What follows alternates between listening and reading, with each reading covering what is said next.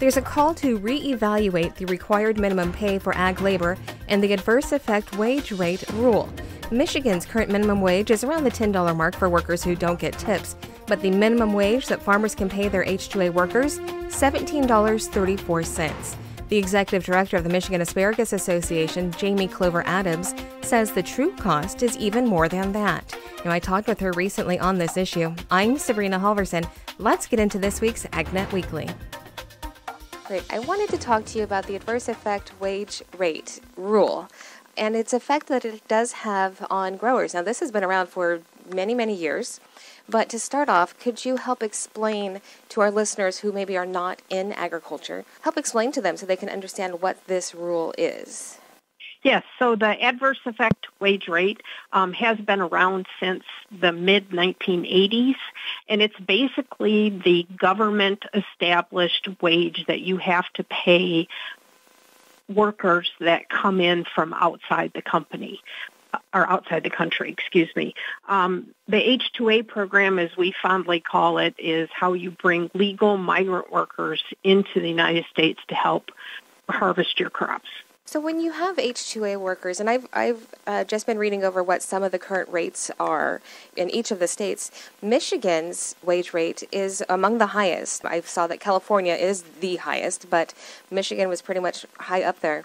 So with having these rules that the federal government puts into effect on what workers pay, and we're not talking about a small amount. I think it was uh, $17 and something like 34 cents yep. for Michigan what kind of an effect does this have on agricultural businesses?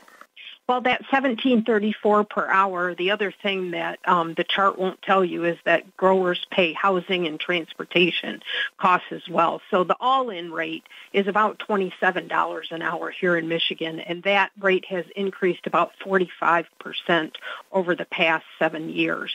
Uh, the effect on growers is uh, significant. So in hand-harvested crops like asparagus, labor accounts for about 50% of our aggregate expenses. And our growers are using H2A because they don't have any other choice.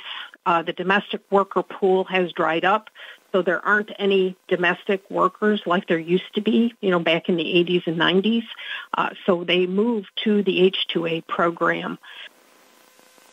The impact that it has is that as growers' costs increase, they do what they can to find efficiencies to uh, reduce their costs, but overcoming that wage rate is near impossible. And when you look at asparagus, for example, in the grocery store, over the last five years, the cost of a pound of asparagus at grocery was about 260 to 280. So it hasn't really moved a lot and listeners will know everybody's costs have gone up. And so that just means that everyone's increased costs are pushing down onto growers. Uh, we have seen declining grower returns for each of the last seven years, except for 2020 uh, during COVID when imports couldn't get into the country, and so the pricing was up a little bit. Yeah, and it's like in any business when your costs continue to go up and up and your income is not going up comparatively, that can lead to businesses going out of business. And the same is, is true for farms. Yep, that is true. And it's not just asparagus. Uh, you see it in a lot of other fruits and vegetables. You know, you look at uh, broccoli and bell peppers and squash and blueberries. We have a lot of blueberries here in Michigan. Those growers are experiencing the same things that asparagus growers are. And what happens is farmers will make other choices um, for their commodity mix. It's a little harder when you look at asparagus, which is a perennial crop. It's a 15-year planting. You've got a $5,000 per acre investment in it when you put it in, so you don't just rip it out uh, willy-nilly. Uh, the same with blueberry bushes, but you you do have to look at it and make choices for what you're going to do on that land. And I think that's our big concern is that we are seeing growers um, take out asparagus plantings, uh, change their mix on other kinds of vegetables. Many of my growers grow a lot of other types of vegetables. They're moving to those that don't take as much hand harvesting And what does that do for food safety or, and food security here in our country? USDA tells us that 50% of fresh fruits and 38% of fresh vegetables are imported. And that is not people eating more bananas and mangoes. That is that is more imports coming in during our season that are holding down returns for growers. And, you know, are we going to, as a country, decide that we're just going to rely on other people to supply the most nutritious things we need in our diets? And that's that is the road we're heading down if we don't do something about this AEWR wage rate. It is significantly higher. I pulled some data from Mexico, and I'm being generous that they pay 25 to 30 percent of what we pay in wages. That, that's pretty hard to compete with. And, and how do we ensure that we have those nutritious fruits and vegetables for American consumers in the future if something should happen like we saw in COVID with disruptions in supply chains? Playing devil's advocate here, you know, for years it's been a matter, um, people who maybe are not involved in the industry or uh, certainly not farmers, you know, they'll say, well, farmers just don't want to pay wages or they're taking advantage of their workers or not using legal workers and they just don't want to have to pay for it. What's the response to that? Well, I, I think our guys, you know, the, the workers we get, uh, our farmers get, are they work hard and they earn every nickel that they make. But the purpose of this wage is to pay this wage so you're not having an adverse effect on domestic workers. I can't speak to any other parts of the country, but I can tell you here in Michigan, there aren't any other domestic workers. There are not domestic people, people, Michiganders, who are knocking down farmers' doors to work in the asparagus fields or to harvest zucchini or squash or broccoli. And so who are we having an adverse effect on? I would also say that they make this wage, they don't pay for they don't pay taxes, they don't pay housing, they don't pay utilities, they don't pay for health care.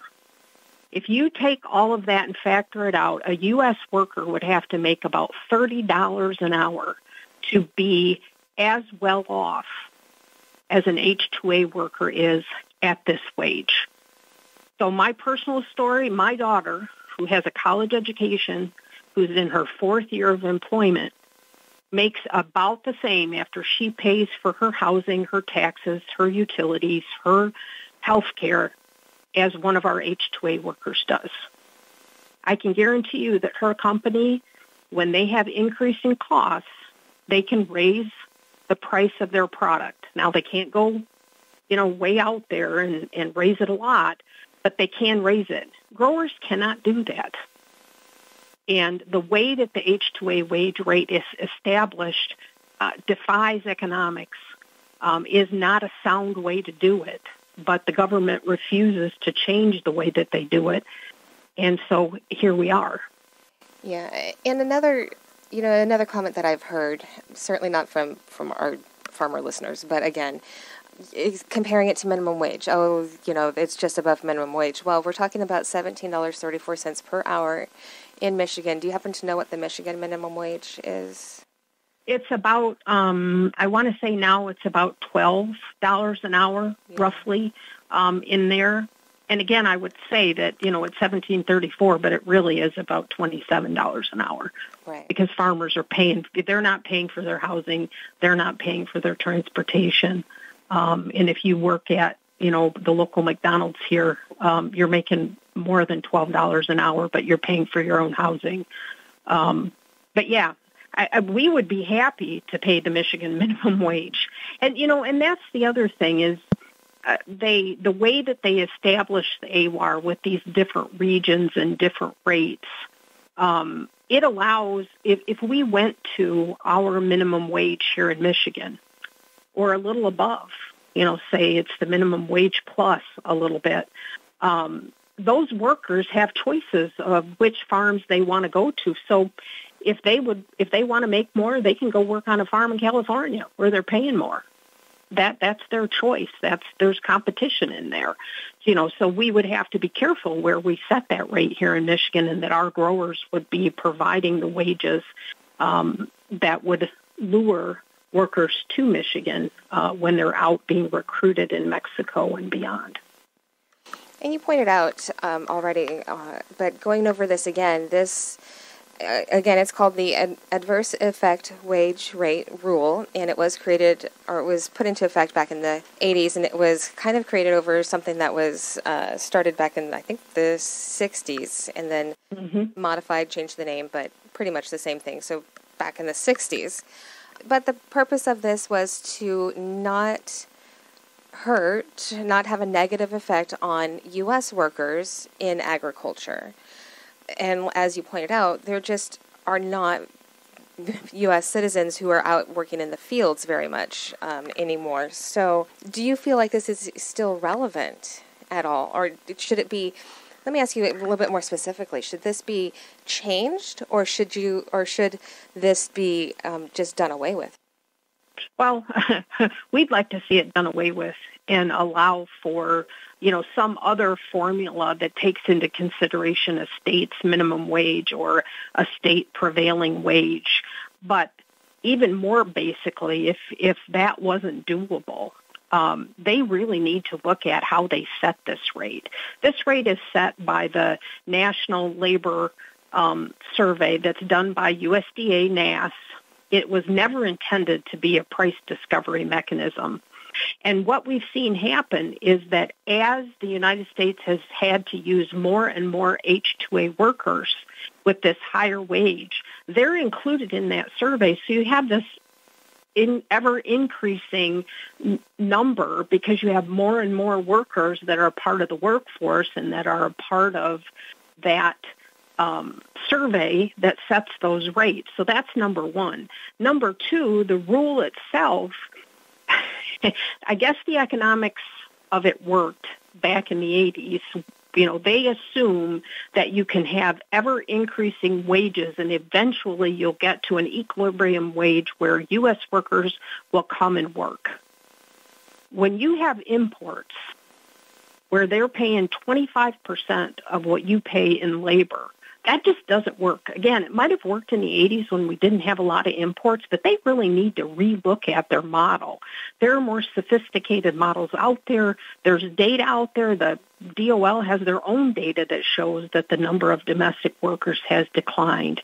So we have this old way of setting the rate, and then we have this flawed survey and, and again, to defend USDA, that's not what they set the survey up to begin with. It's just how the Department of Labor has chosen to use it. That includes the wages of H2A, and you, you just see this.